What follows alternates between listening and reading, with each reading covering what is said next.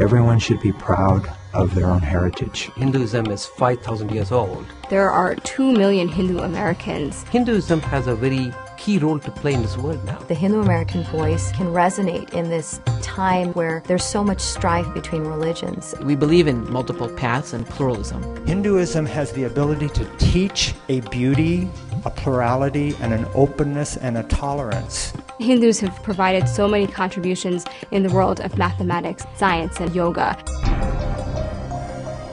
One of the largest problems that Hindu Americans face is the misunderstanding of their tradition. The Hindu American community isn't really well represented by the media. What we found is a really stereotyping approach to Hinduism errors, exaggerations, or outright misrepresentations. Most people who teach Hinduism are not Hindus. There's a great need to educate congressional leaders about Hinduism and about Hindus. We have a duty to represent less empowered Hindu communities in Bangladesh, Pakistan, Malaysia, Afghanistan. Violations that, that take place range from rape to murder to temple destruction. There is a conscious degradation of Hinduism. At least 37 distinct websites that promote hatred towards Hinduism. There is a need for these to be addressed in a systematic manner, in a consistent and professional manner, and in a way that is rooted in Hinduism.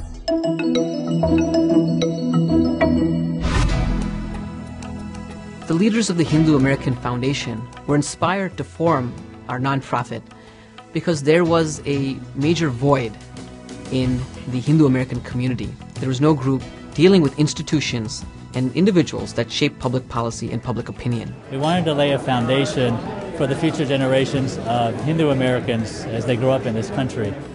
The biggest achievement has been gaining respectability for Hinduism and Hindu issues to people who otherwise would not have been exposed to anything about Hinduism or any Hindu issue.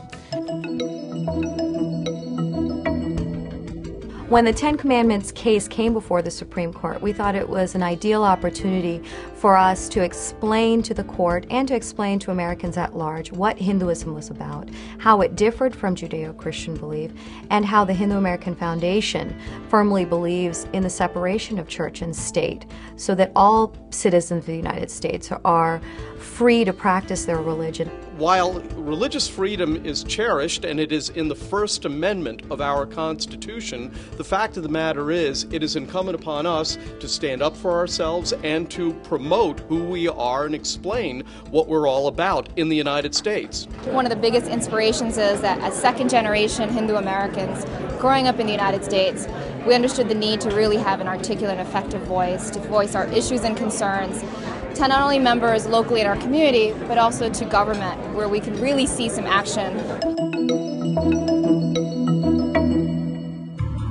Until HAF, there was no strong representative um, on Capitol Hill. There was nobody there to tell senators and to tell representatives that, hey, we are a two million strong community and you need to recognize the fact that Diwali is an incredibly important holiday to all of us. HAF holds annual meetings in Washington, D.C. And in those meetings, we meet with senators, congressmen, aides in each office to help spread the presence of Hindu American Foundation, talk about what we do, and make sure that each of those congressmen and congresswomen understand some of the issues facing the Hindu American community.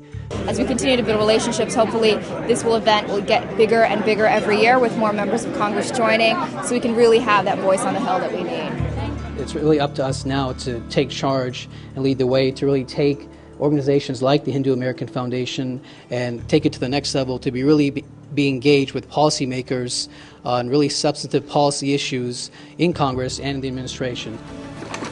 Hello, Hindu American Foundation. Because we have full time staff, we are now able to have a strong basis of engagement with people in Washington, D.C. These are journalists, congressmen, senators, people in think tanks, and many of the non governmental organizations that are also based in Washington, D.C. And with our office there, we actually have a physical place where our staff can interact on a daily basis and we, we can store our resources.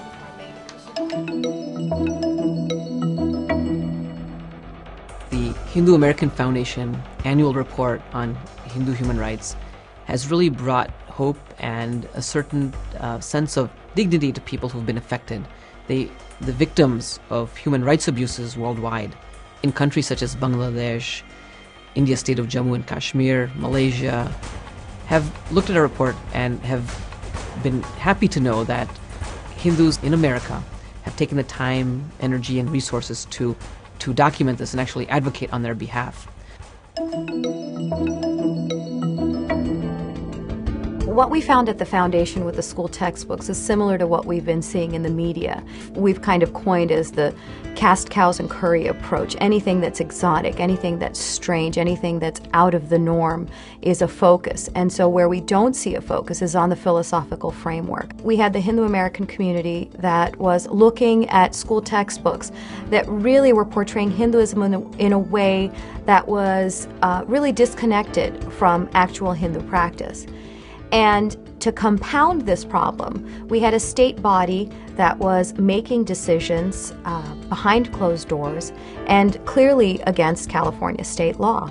With the support of the community, Hindu American Foundation decided that it was time for us to file a lawsuit that we needed to show the State Board of Education that Hindu Americans were not going to sit quietly and take these procedural uh, violations. We were victorious on the procedural grounds, and in terms of HAF's continued commitment to the state of California and the state of textbooks, we are working very closely um, with the State Board of Education in making sure that the new adoption process is fair and open and transparent.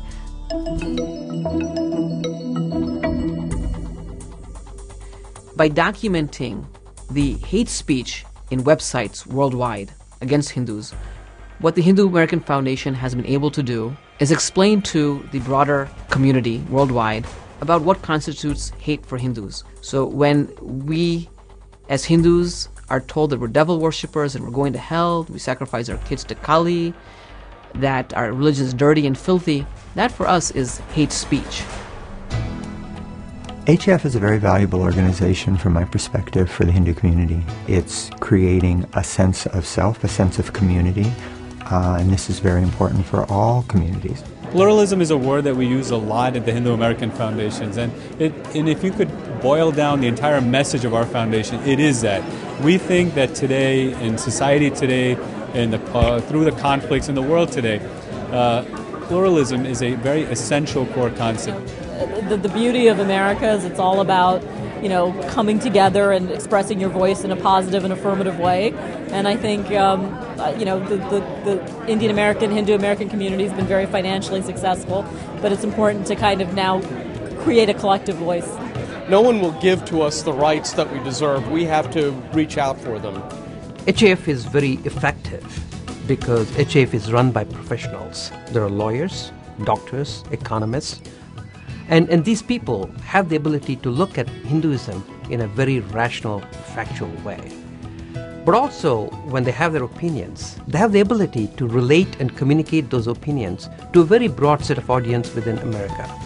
We're able to, with a small group of volunteers and, and with a, a paid staff, really effectively and professionally take the concerns of the Hindu American community and take information about Hinduism and distribute it widely and really give Hinduism the positive face that it, it deserves.